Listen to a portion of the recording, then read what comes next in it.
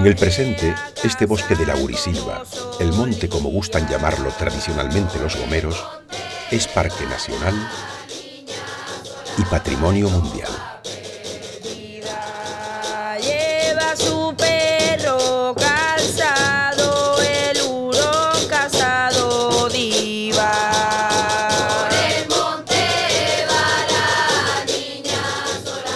Isla de La Gomera, caracterizada por áridos paisajes en sus costas y con vegetación escasa y dispersa en gran parte de su territorio, tiene sus cumbres centrales cubiertas de selvas, donde la niebla, los muscos, los helechos y el murmullo del agua son los protagonistas.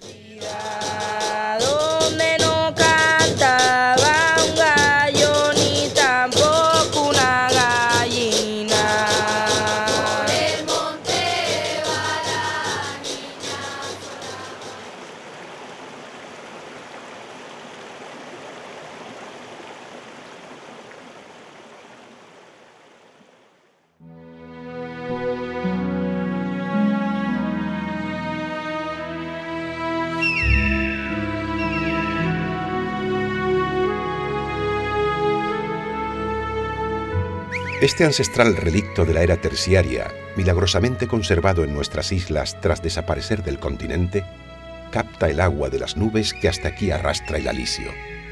Agua que da vida al bosque y a la isla entera.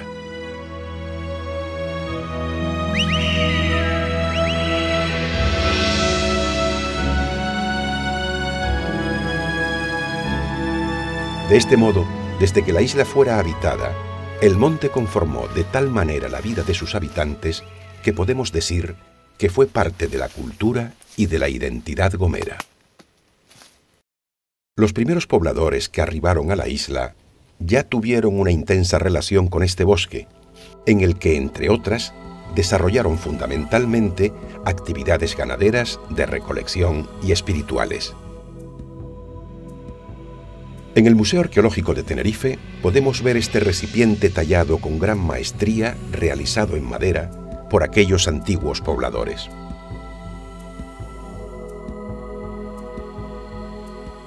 Este otro trabajo en madera, un tablón funerario que se encuentra en el Museo Arqueológico de La Gomera, es un ejemplo de las parihuelas que en ocasiones utilizaban los primeros pobladores para depositar a sus fallecidos en cuevas sepulcrales. El monte era usado por los antiguos gomeros tal como ha sido usado a lo largo de toda la historia presente.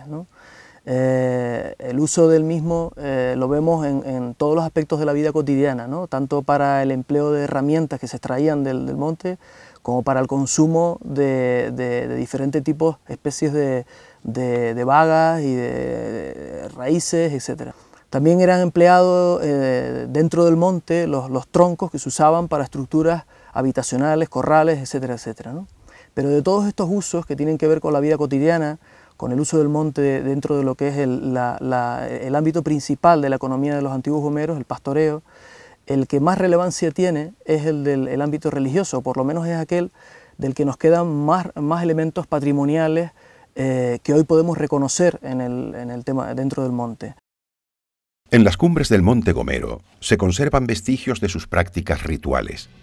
Entre estas piedras de un ara ceremonial, aún se pueden distinguir pequeños trozos de hueso, restos de sus ofrendas a las divinidades.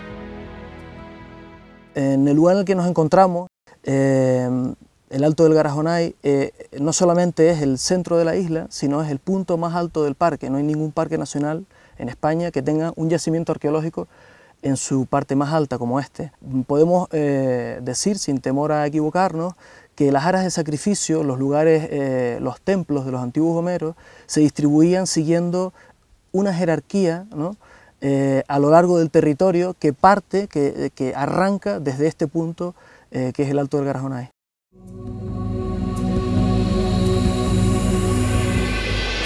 La cercanía al cielo convocaba a los antiguos gomeros a celebrar sus rituales en las cumbres de la isla. En la cima del roque de Agando, por ejemplo, se encontraron estas piezas realizadas con materiales del lugar y no con la tosca roja normalmente utilizada. Conservadas en el Museo Arqueológico de La Gomera, nos preguntamos sobre ellas, y aún se estudia su función, si bien aparecen claramente vinculadas a las aras de sacrificio, cuya actividad principal era la cremación ceremonial de ofrendas a las divinidades. Aquel modo de vida de los primeros gomeros acabó violentamente con la llegada de los europeos. Los españoles que conquistan la isla para la corona de Castilla imponen en La Gomera un régimen señorial. La isla toda se convirtió así en propiedad de los señores, quienes tras los primeros repartos de tierras se consolidaron como propietarios exclusivos del monte y por tanto con la facultad de permitir o no los usos y el aprovechamiento de aquel bosque.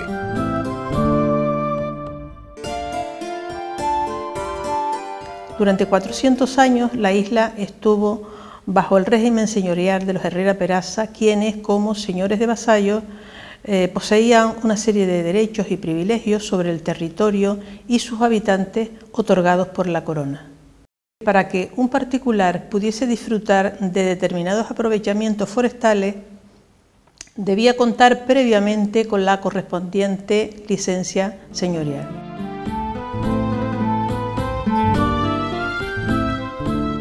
La admiración hacia estos bosques ya aparece reflejada en las primeras crónicas escritas sobre la isla.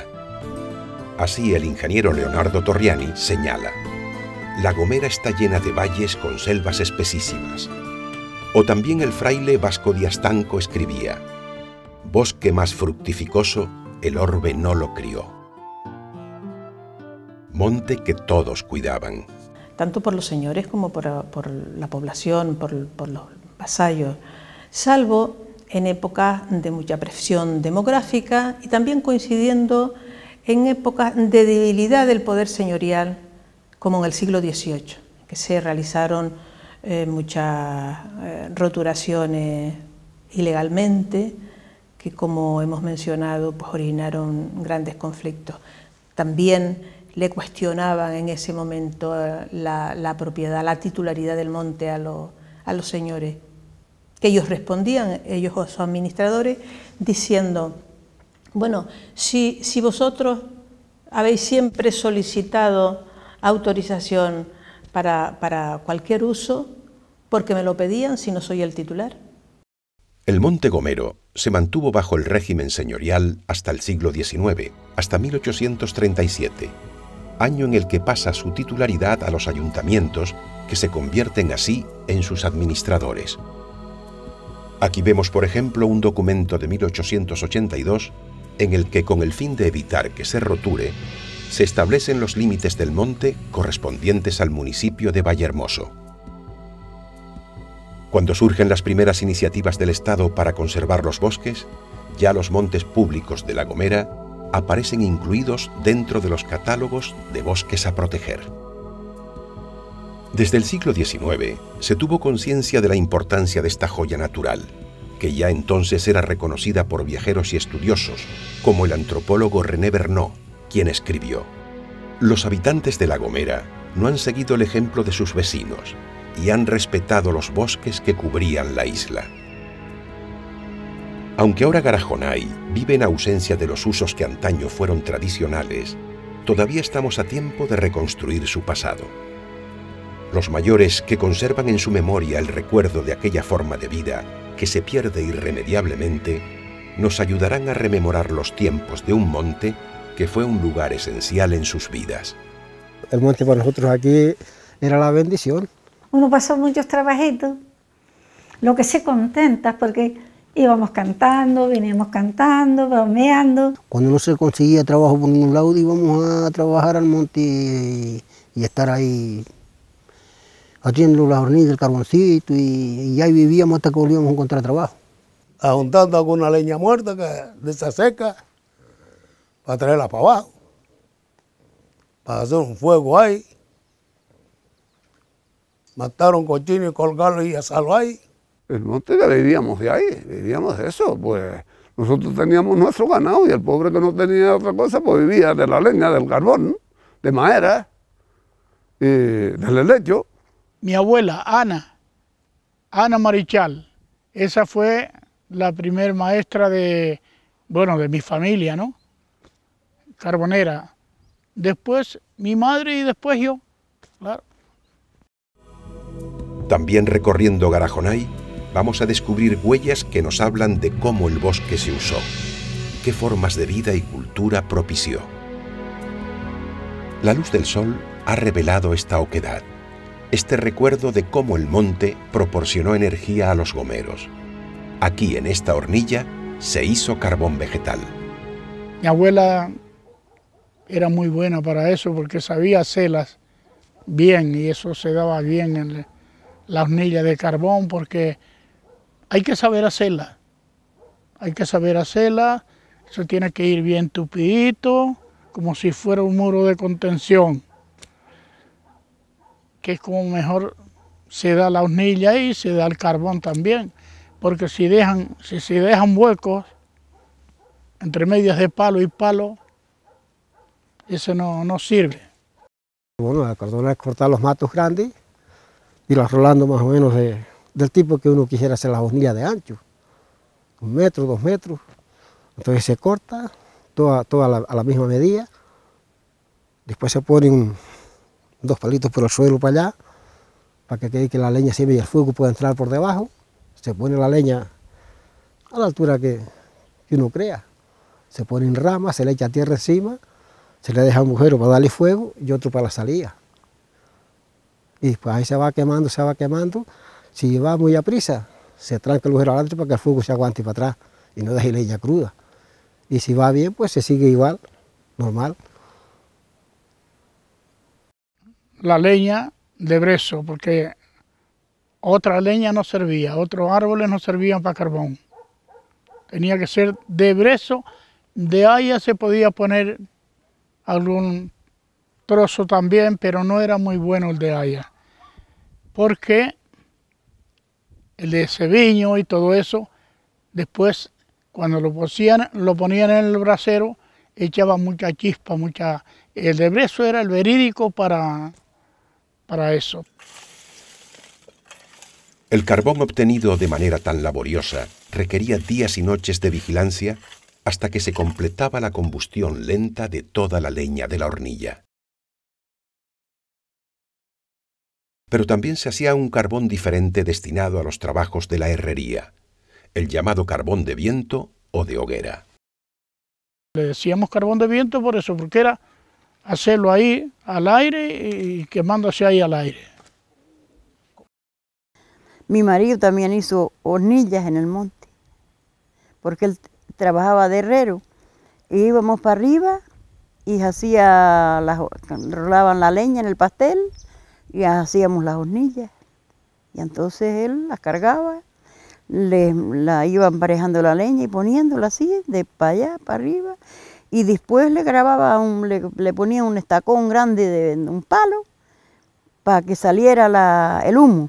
La hornilla, eso se hacía, pues mira, empezaba uno a rajar troncos, así más o menos pensando este tamañito así, y cuando había ya una buena pila, entonces hacía uno una cosita así en la tierra, y después a empinarlos ahí, se iban colocando, a lo mejor se hacían hasta de este alto y después pegarle fuego ahí al aire libre.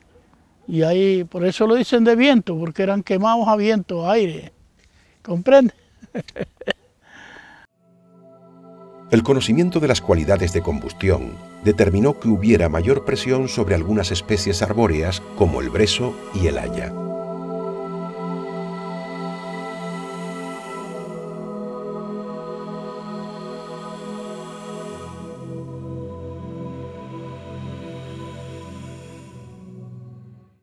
También la leña fue un combustible indispensable en la vida de La Gomera. El incipiente proceso de industrialización, constituido por las primeras factorías de pescado a principios del siglo XX, necesitó ingente cantidad de leña, que era transportada desde los altos a la desembocadura de los barrancos del sur y del este, donde empezó a florecer la industria del enlatado de pescado, que necesariamente tenía que ser guisado antes de envasarse para cocinar el pescado, entonces no había eléctrico nada, sino toda leña. Y es cuando el pescado se lo iba a comer. claro.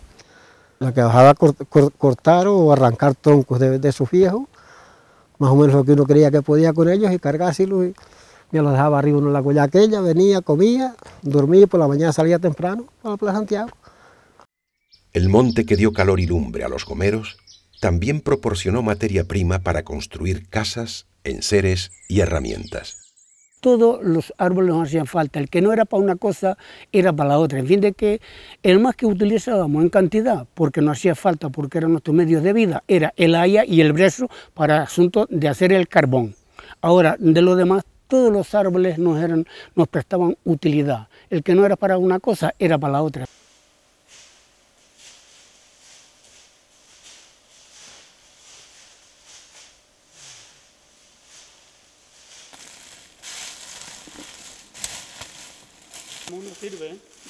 Tras decidir qué árbol será el apropiado, empieza una labor sencilla y simple, pero que requiere una gran pericia y habilidad. Tres metros, aquí tiene tres metros, aquí tenemos el palo, que este palo no sirve. Tendríamos que cortarlo por aquí y aprovechamos de aquí para allá y entonces pues ya nos va. Vamos a cortarlo.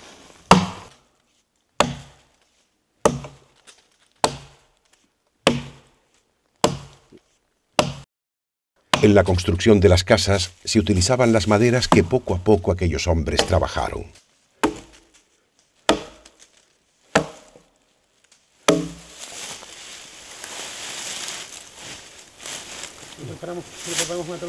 Ahora sí. Vamos a darle vuelta para arreglar el nudo. El nudo, esto lleva su significado de que hay que darle a un lado y después al otro para quitar el nudo. Después fue al otro.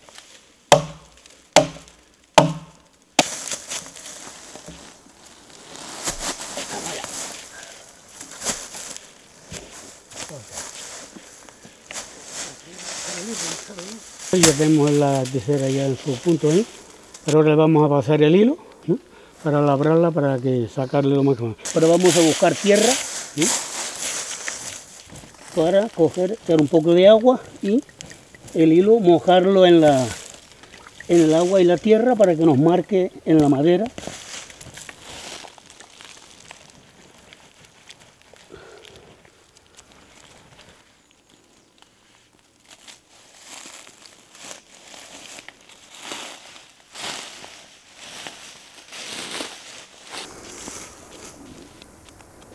Aquí, ah, más o menos. ah. Tú, ah, ok. Puedes sacarle un poquito más para afuera. Ah, ahí. ¿Todo bien? Sí.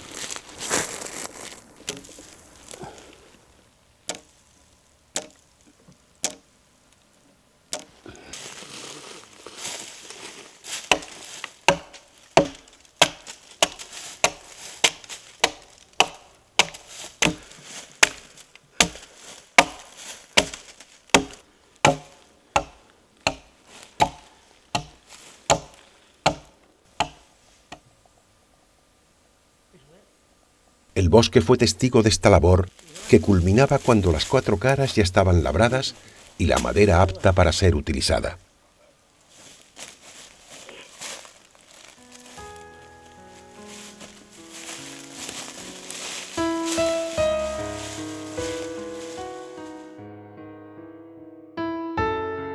La habilidad en el manejo del hacha era algo fundamental, patrimonio de unos pocos que compartían su saber con quien lo necesitaba. Así podemos ver en casas antiguas maderas de haya y aceviño trabajadas de esta manera.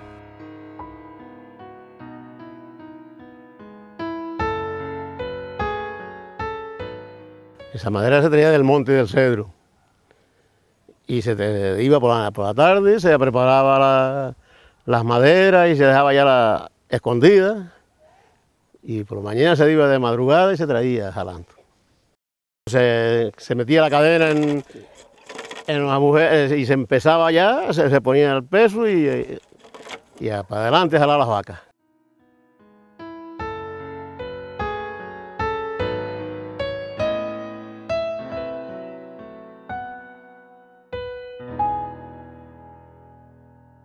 En algunos casos, el uso de la madera era más elemental. Aquí era una casa que está aquí caída. Aquí están todavía los palos que, traían del monte. Sin labrar ni nada, sin esos palos redondos. Están ahí.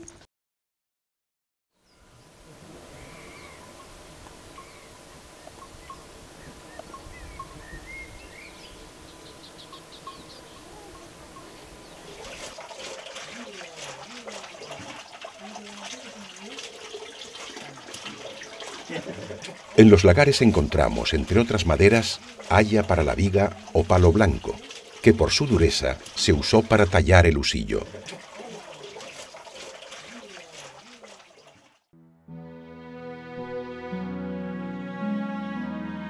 Toda una artesanía tradicional se desarrolló al amparo de las maderas del monte. En seres y útiles para el trabajo, como telares y arados, se hicieron con ellas.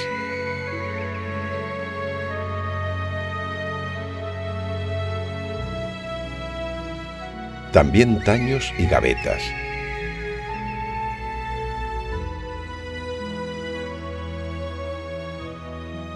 Morteras y chácaras o banquetas son asimismo aquellas maderas trabajadas a golpe de necesidad.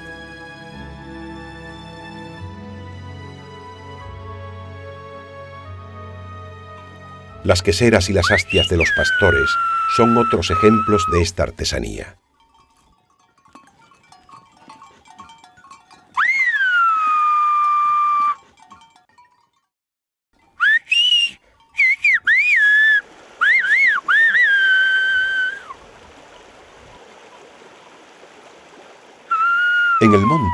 Silbo y los hierros del ganado se unieron a los sonidos propios del bosque, donde los pastos que crecen bajo el arbolado fueron alimento de cabras y ovejas, que libres o custodiadas por los pastores, venían hasta estos lugares.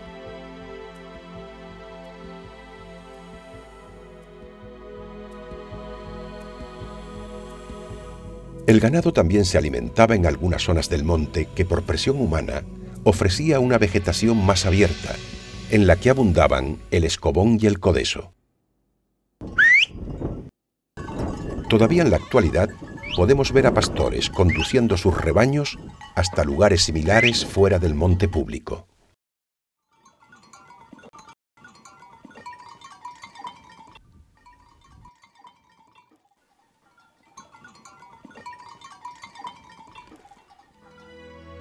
En la geografía del parque quedan como testigos mudos restos de los muros de piedra de los refugios que usaron los pastores.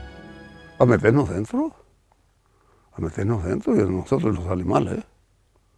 Uy, hacíamos fuego al, medio de él, ahí se, se gozaba un puyero cuando estaba lloviendo y uno metido ahí. Las cubiertas de paja de centeno ya han desaparecido como también las chozas construidas totalmente con materias vegetales y que hoy podemos reconocer en esta antigua fotografía. En los años 50 del siglo pasado se prohibió el pastoreo en el monte para asegurar su conservación.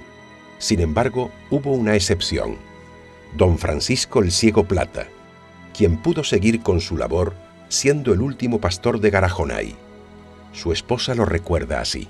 De jovencito no tenía las ovejas todavía en el monte, porque él se operó, se tuvo que operar y todo. Le dieron vista por un ojo. Y después ya sí lo dejaron tener las ovejas. Habló con ellos y le dejaron tener. Como tenía ya muchachos y todo, les dejaron tener las ovejas en el monte. Las ovejas nos hacen daño, ¿no? Así nada como la cabra sí, porque la cabra se guinda para arriba y a comer del árbol.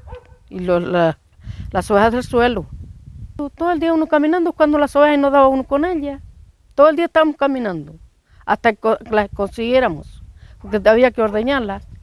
Las ordeñamos y después las dejamos en el monte. Las dejamos ahí, después el otro día volvíamos otra vez a caminar a buscarlas y las ordeñamos. Y después volvíamos para casa. Así no era.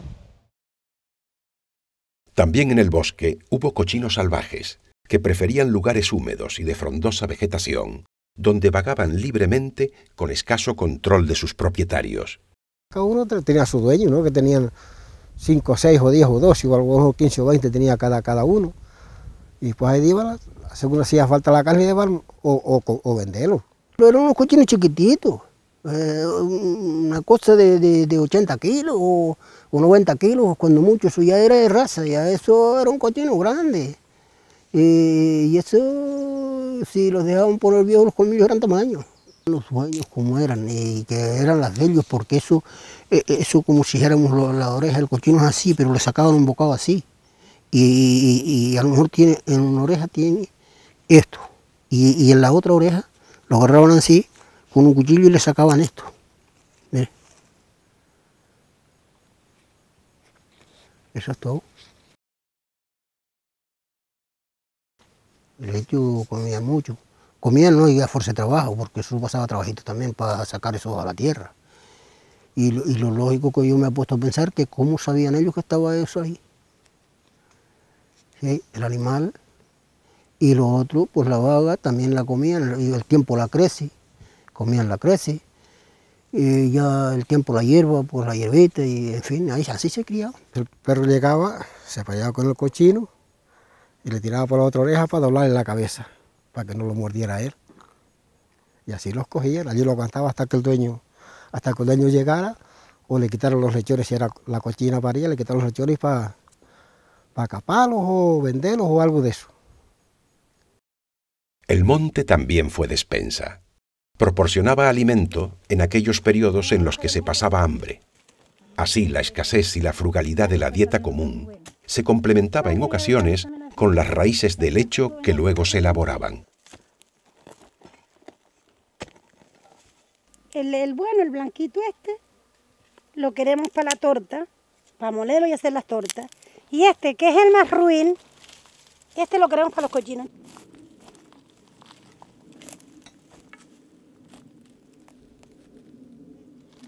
Nosotros cavábamos el leche por las faltas que teníamos, porque éramos muchos en la casa. Por ejemplo, en la mesa de mi mamá nos sentábamos 14 personas a comer. Pues imagínate tú en aquellos tiempos. Tendríamos que cavar el leche por necesidad, porque el pan, si lo veíamos es que íbamos a Vallehermoso una vez al año a llevarle la, la cosecha a los amos. Eso se pone a secar. Esto se pone a secar y va todo al molino, con cáscara y todo. Esto se va todo al Se molino. muere todo. Se seca porque ahora está muy húmedo. De una vez que esto ya esté a seca, que la babita esta esté seca, se lleva al machete y se va picando, picando, picando, picadito, como granos de millo.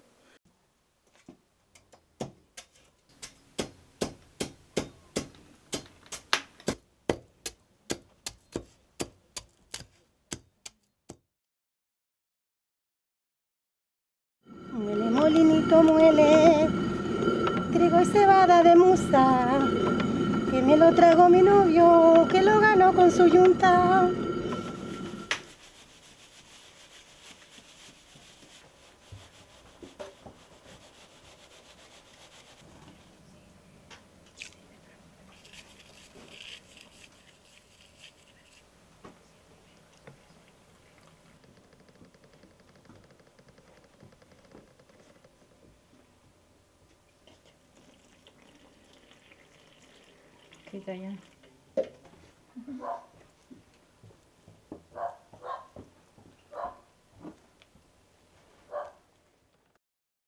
Mientras se amasa, en la cocina se prepara el fogal.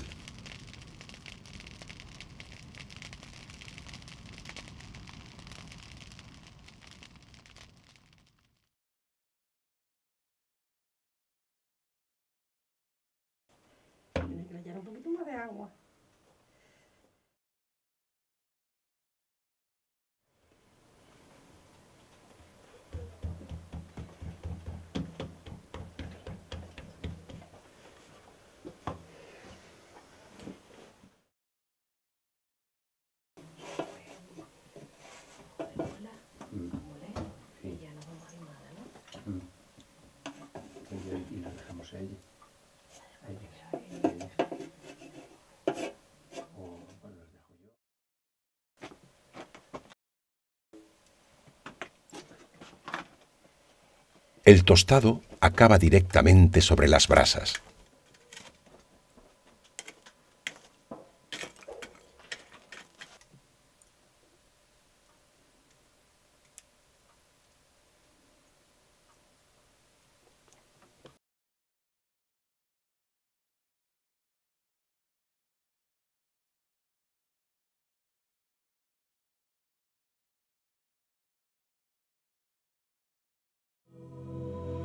Recordemos que el uso del monte estaba regulado y que los guardas forestales velaban porque se cumpliera lo dispuesto. Teníamos que venir a la escondida de los guardias. Y por ejemplo, si un día acabábamos en el monte de, de Alajero, al otro día nos íbamos al monte de Vallehermoso, despistábamos a los guardias. Era huir, era huyendo, no al mismo sitio, no, a veces a un sitio y a veces a otro.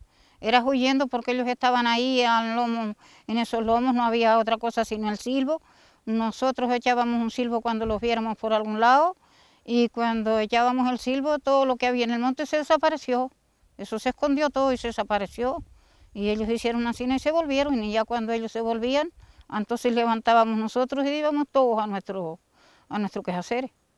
Entra por los ajos, salen por manzana y mete la cabra donde le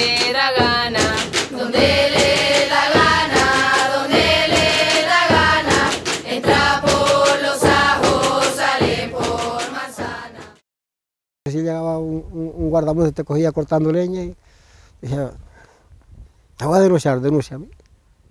Sí, pero déjame la echáis, no. Toma, ven tú, cógela aquí si quieres. Y ahí nos iban a cogerla. Yo porque sabía lo que les esperaba, denunciar, sí. Una se pagaba, otra no se pagaba. No cobraban multas porque ¿con qué pagaba si no había dinero? Don León Sosa nos habla del trabajo de los guardabosques y de alguna de sus iniciativas. El guarda lo que aportaba era la vigilancia y el cuidado que había que tener para mantenerlo lo más intacto posible. Y evitar los pastoreos y evitar las talas y evitar que nadie se, se, dedicase a llevar tierras como se llevaban antes de los montes y los ciscos que se llevaban, los ciscos del monte se llevaban también, porque hacían unos aprovechamientos de ciscos que llamaban, que eran las hojas de los laureles y los viñáticos, y los, raspaban, y no, eso no se controlaba, hasta aquella época que después que llegué yo, se controló, se prohibieron las asadas para recoger los ciscos, más que unos rastrillos que solamente pudiesen llevar la hoja del monte y no llevar las tierras ni las pequeñas plantas que había. Entonces, pues yo cogí, distribuí cada, distribuí, hice una distribución de, de, cada monte en cuatro transones para que en lugar de barrer todos los años cada monte, solamente se barriese una cuarta parte de cada monte. Y al siguiente año la otra y así descansaba un monte tres años. El monte como fuente de vida facilitó remedios medicinales. La cáscara del viñato existía para cuando uno tiene un empeine, un culebro que le dicen, guisar el agua y lavarte con el agua de... Lo mandaban los mismos curanderos que te curaban, te lo mandaban a dar. Había que ir al monte a buscar la cáscara. Incluso había gente que estaban en el sur, tenían su, sus empeines y lo mandaban a buscar aquí. Y después la, la, la pamplina era para pa el azúcar, para cosas de, de, guisarla y se guisa la pamplina y se, toma la agüita para pa azúcar, es muy buena. La salsa parrilla se usaba solamente, para, se buscaba mucho y se busca todavía hoy, para una persona que tenga la sangre mal, para refinar la sangre. Y sirve solamente la raíz, porque la hoja no sirve. El laurel o como popularmente se le conoce, propició un remedio con sus frutos. Ah, eso es para curarse uno. Pero hay que majarla. Se llama aceite de vaca. Y el que sirve para eso es loro, que tiene la vaca negra. Ay, señor. ¿Cuántas veces no, no, se, no se ponía uno lidiadito sin poderse levantar, se le pasaban eso y caminaba otra vez? Eso sí era bueno. Y, claro, acaban de que se murió, que, que, que nadie eso. Mi madre, que Dios perdone, y mi tía, eran dos hermanas. Y todos se murieron las pobres. Eso cuesta trabajo. Hay que juntar la vaca, apañarla, traerla para casa. Mm, llevarla para casa, majarla como en un, como en un, en un mortero. Majarla, guisarla, exprimirla, echar en botella y, y vender venderla o darla al que, a, al que se lo merecía. Eso es lo que era.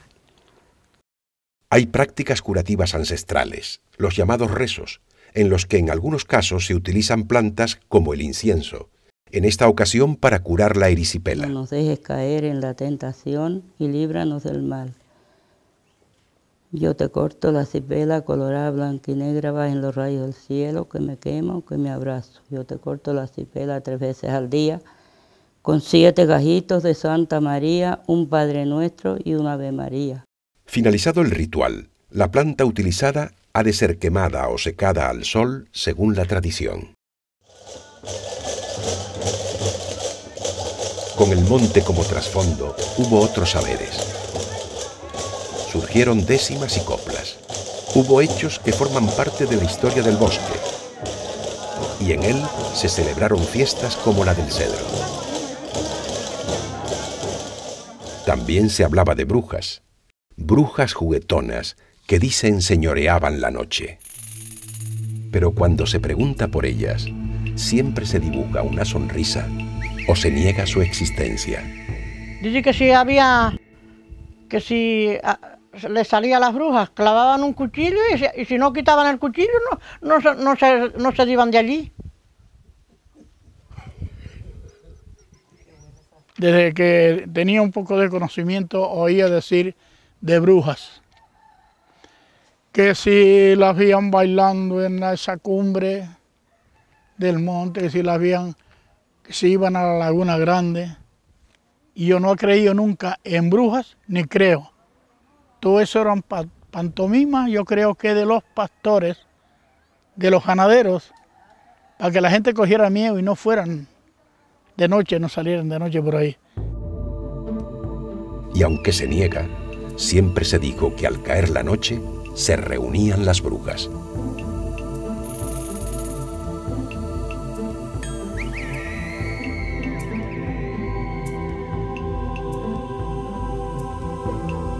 Pero todo cambia cuando alguien recuerda un caso cercano. La sonrisa se vuelve seriedad, aunque nadie afirma abiertamente su existencia.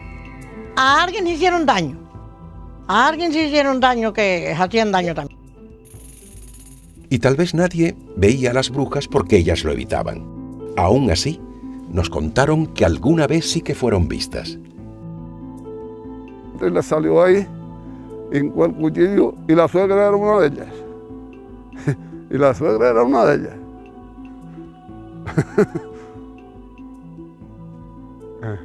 El cuento ese. El agua del monte es un recurso esencial en la isla, porque la mayor parte del territorio de La Gomera se caracteriza por una escasa e irregular pluviometría. Conducir el agua desde el monte y hacer posible el riego requirió de esfuerzo y habilidad, así como de complejas fórmulas de organización comunitaria para la gestión del agua. En los barrancos con poca agua, pequeños tanques de tierra permitían su almacenamiento y mejor control.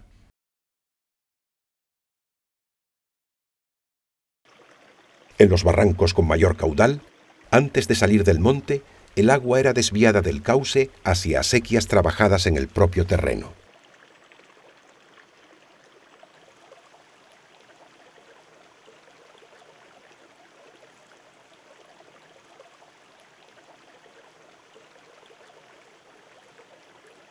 Tanques y acequias hacían posible el riego en los cultivos de subsistencia de las medianías,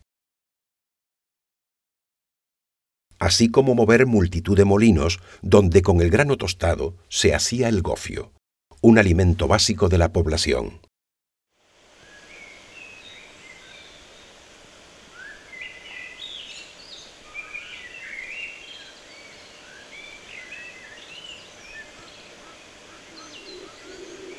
El agua del monte circulando a través de chorros, barrancos y acequias también alcanza y beneficia a las zonas de costa, donde el riego ha permitido la frondosidad subtropical de la platanera, cultivo tradicionalmente regado a manta, un sistema de riego en el que se vira el agua de los machos con la asada hacia las posetas o maretas.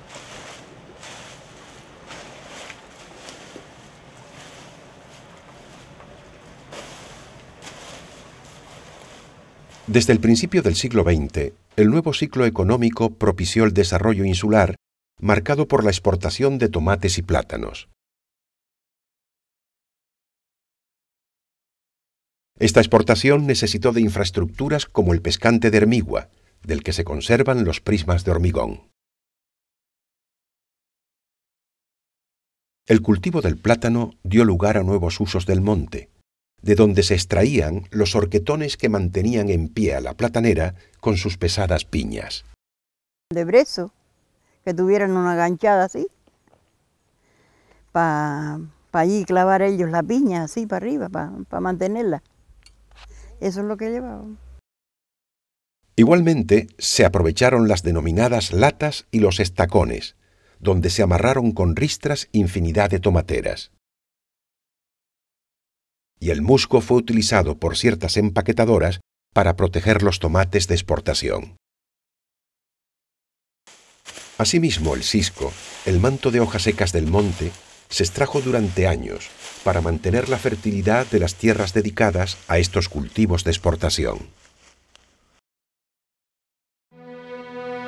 La dependencia del monte era inmensa. Sin embargo, el aprovechamiento no significó su destrucción. Un uso controlado que respetaba los grandes árboles del bosque y evitaba la corta mata rasa modeló la selva primitiva sin llegar a trastocar sus rasgos esenciales. Los cambios en la forma de vida y las medidas de protección han hecho desaparecer los usos tradicionales dando paso a otros nuevos. Ahora, el monte se desarrolla y evoluciona de acuerdo con su propia naturaleza. Ya el valor de Garajonay es su propia existencia, además del inmenso valor de la belleza que generosamente nos ofrece.